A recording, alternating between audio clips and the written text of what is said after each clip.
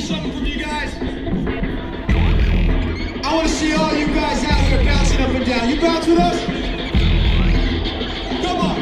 Three, two, one. Get up, y'all.